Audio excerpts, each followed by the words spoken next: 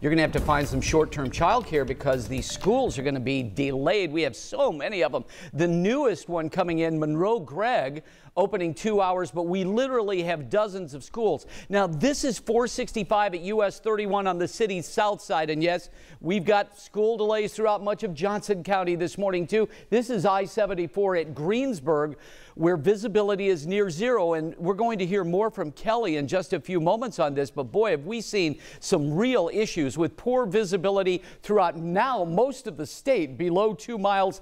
If you have to head out to work or school not just please take it easy because this is going to be an issue until about 10 o'clock. Again, with numerous school delays, they're at the bottom of your screen. And of course, at WTHR.com, we've got the list for you there. Take a look at these temperatures. It would be warmer than this, but it's so kind of misty and foggy out there. So Kokomo's at 63, two hour delay for you hot dogs at Frankfort at 61, Noblesville's at 61, two hour delay in Zionsville now we're at 60, 60 at Indianapolis International and 54 right now with zero visibility in Bloomington. Seymour, you're at 56. North Vernon is at uh, 54. As we go through the day today, it's going to get much better. So if you've got little ones and you want to go to ZooBoo, opens at 2, closes at 7, we'll get up to 80 degrees by then. And yeah, we're closing down on the last few uh, hours, really, of uh, this month of September. Now, Jelly Roll's in concert tonight, coming off that